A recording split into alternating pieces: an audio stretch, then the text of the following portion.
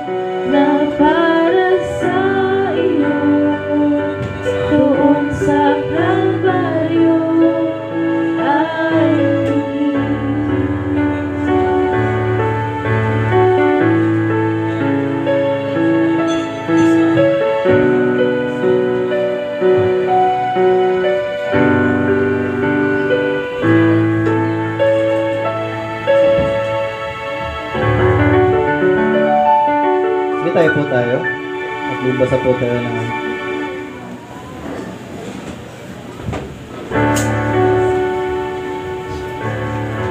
po sa ng Panginoon. Sapagkat ito ang tunay pinagako mula sa Panginoon at ibinibigay ko naman sa inyo, nagabing siya ay pagkanulo, ang Panginoon Jesus ay dinampot ng tinapay, nagpasalamat at nagdarapla sa iyon at sinabi, ito ang katawan ni Andog para sa inyo. Gawin ito bilang pag-alala sa akin. So, sa salita po tayo ang pang magbabasa. Panginoon sa Kristo, kami po ay nagpapasalamat sa iyo na inandog mo ay iyong katawan para magkaroon kami ng kaligtasan. Kayo po.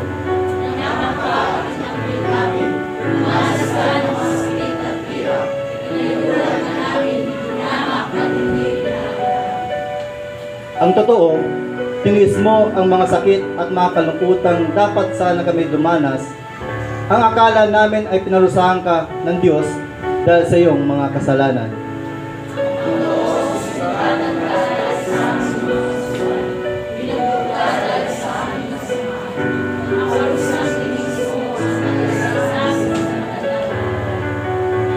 At dahil sa mga sugat mo, kami ay gumaling. Kainin pa kainin pa din ang ano, yung tinapay po. Nagsimbolo ng ating katawan ng Panginoon. Hallelujah. Amang banal at salamat o Diyos sa tinapay na ito. Nagsimbolo po ng katawan doon po sa krus ng Kalbaryo upang kami po ay linisin at mapatawad po, mapagaling sa po ng uri ng karamdaman Diyos. Ito maging physical, spiritual. Lord God, salamat sa tinapay na ito. Po ay nagsibing paghugas, paghugas po namin sa itong mga kasalanan Diyos. Sa iyo po ang kapastasan papuri, pasalamat at samba sa sa Panginoon Jesus. Amen. Hindi kayo ibang tinapay po natin?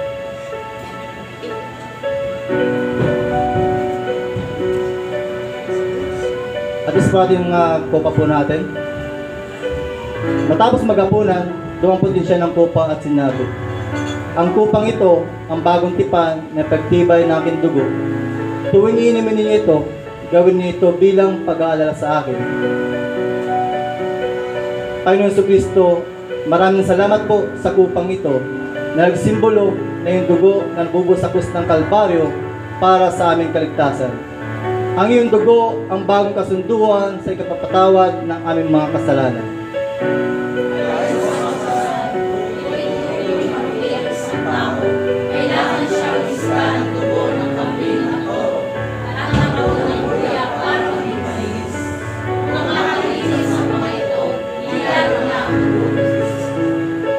Sa pamamagitan ng walang hanggang banal na Espiritu, inialay ni Kristo ang sarili niya bilang handog na walang kapintasan sa Diyos. Ang dugo ng Panginoon si Kristo ang lilinis sa ating puso't isipan para matalikuran natin ang mga gawain walang kabuluhan at paglingkuran ang Diyos na buhay. Si Kristo ang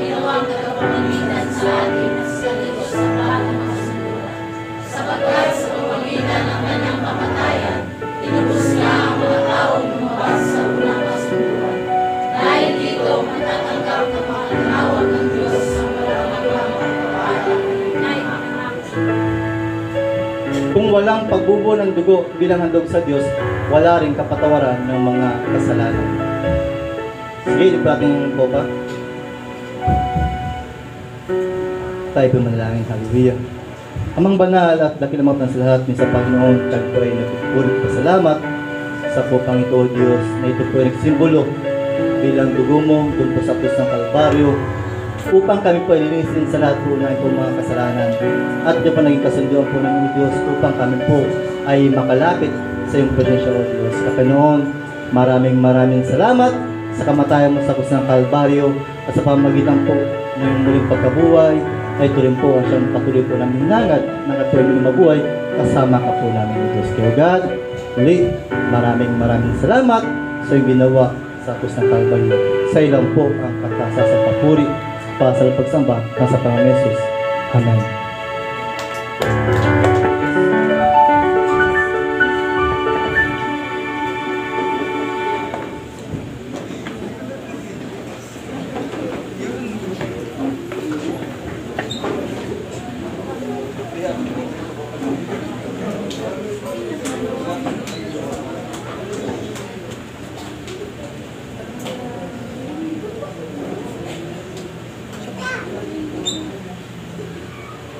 Po. So praise God. Salamat sa Diyos sa mensahe na ating narinig sa umaga ito at ah, ah, napakalaking bagay pa na makita at ah, marinig natin kung paano tayo lumaya sa tinatawag na insecurity. Natatandaan niyo po ba yung un- unang point? We must come no, to Jesus and we must bear hindi po yung beer na iniinom. Kailangan natin lumapit sa Kanya at ah, pasanin yung Kanyang pamatok para yung pasanin na naranasan natin ay maibsan. Yan. At ah, para gumaan. At hindi lamang gumaan, we must learn. Ano, tayo ya mag-aral sa Kanya, sa Kanyang mga salita, sa katotohanan para tayo ay magkaroon ng ano, kalayaan. Ano, magkaroon tayo ng kalayaan dito sa insecurity na sinasabi. Amen? So, praise God. Salamat Brother Raymond sa napakagandang ah, at nakakahamon na mensahe. At ah, ngayon naman ay uh, dadako tayo sa ating pagbibigay sa Panginoon. Sino ang nagmamahal sa Panginoon? Amen. Dapat amen agad. Kasi pag di tayo ano, mag-amen, parang alanganin din. Yan, alanganin din. So, tayo ay nagmamahal sa Panginoon, kaya sa ating pagbibigay ngayon, dahil sa mahal natin ang Panginoon, ay dapat ah, patunayan naman natin na talagang mahal natin ang Panginoon. Hindi lamang sabi natin, I love you Lord, I love you Lord. Hindi lamang sa salita, kundi dapat nasa gawa din, di ba? Sabi kanina, ang pananampalataya na patay, ay, ang pananampalataya na walang gawa ay, ayun, oh, galing.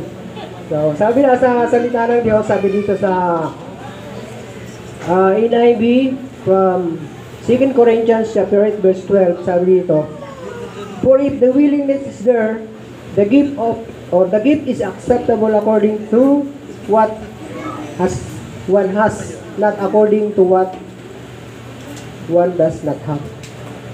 Parang uh, Tagalog na lang natin. Sabi dito sa Tagalog, sapagkat kung bukal sa kalooban ang nagbibigay, tatanggapin ng Diyos ang inyong kayamanan. Hindi niya hinihintay na magbigay kayo ng hindi ninyo kaya. Alam niyo mga kapatid, kapag mahal natin ang Diyos, ano, higit pa doon sa ating kakayanan. Amen? Parang nanliligaw lang yan eh. Di ba? Kung tayo nung nanligaw eh, hindi puro I love you. Dapat mayroon ding, ano, ano, mayroon ding bigay. Hindi puro love, puro I love you, puro I love you. Dapat mayroon din. Di ba? May chocolate din, may flower din. Pero ngayon, hindi na yata uso yan. No? hindi na uso. So, kung tayo ay uh, nagmamahal sa Panginoon, kaya lahat ng bagay ay sigurado yan, may bibigay natin. Hindi lamang material, hindi lamang financial, hindi lamang pera, kundi yung buong, buong buhay po natin, amen, kapag mahal natin ang Panginoon. So, ang tanong, are you willing to give the Lord? Amen? So, if you are willing, God, accept your gift. Tatanggapin ng Diyos ang yung ah ah, yung bibigay sa kanya. Hindi lamang pera, sabi ko hindi lang pera, hindi lang yung buhay, lakas, at tiyak na tayo pagpapalain ng Panginoon. Hindi naman atin yan eh. Yung bibigyan natin sa Kanya para talaga sa Kanya yan. Babalik lang po tayo ng pasasalamat sa Panginoon. Amen? So, hawakan natin ang ating mga ika po, mga gifts sa Lord, at tayo mananalangin, at uh, ating tinatawagan yung mga usher. Please,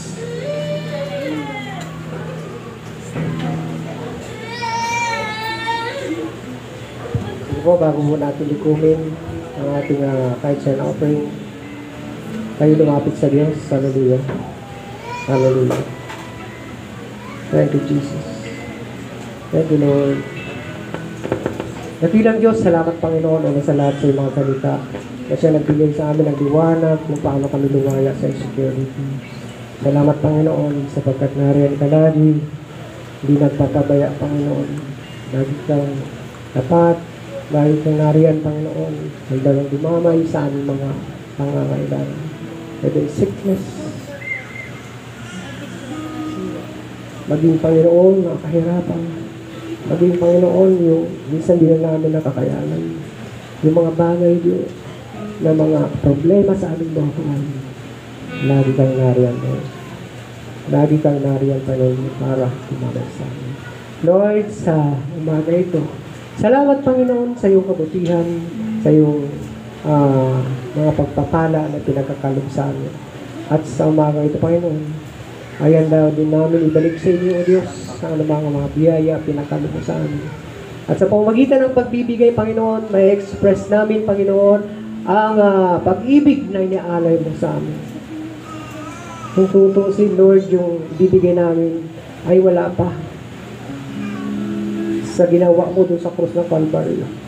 Inalay mo ang iyong buhay para sa amin. Ikaw ay namatay para sa amin, Panginoon. Hallelujah. Salamat, Panginoon, sa katubusan. Salamat sa kaligtasan. Kaya naman, Panginoon, kami magbibigay dahil mahal ka namin. Kami magbibigay, Panginoon, dahil Ikaw ang aming pinaglilingkuran ng aming Diyos. Kami magbibigay, Panginoon, di, dahil ito ay sobra lamang sa amin. Kami magbibigay, Panginoon, para sa aming tunay na kalooban, Panginoon. Bukal sa aming kalooban. Kaya naman, Panginoon, kung ano man, Panginoon, yung mga pangangailangan ng bawat isa. At pagpalain mo sila, Panginoon. Maging sa mga may mga businesses, Panginoon, mga pinagkakaitaan. Maging, Panginoon, sa mga wala pang trabaho. Lord, bigyan mo sila, O Diyos. At naniniwala po kami, Ikaw lamang, O Diyos, ang patuloy na magpapala sa bawat isa. At ang dalangin po namin na ang mga maliligong ito, Panginoon, ay magamit sa uh, furtherance of your kingdom, beautification of your church, at sa pangangailangan ng bawat sa O Diyos ng mga manggagawa at maging sa mission, Panginoon. We pray in the name of Jesus na magamit ito na mayroong ah, buong pusong ah, nagmamahal sa iyo, Panginoon. At ipinagkakatiwala namin, Panginoon, sa iyo lahat ito. Lord, multiply this thanksgiving. Kahit send our praying, Lord God, with our hearts, Lord God. Kapag sinabi mo, mapalad ang nagbibigay kaysa tumatanggap. Sa iyo namin, Panginoon, ibinabalik at lahat ng papuri, pasasalamat at pagdakila sa tanging pangalan lamang ng aming Panginoon. Isang lahat magsabi ng Amen. Amen.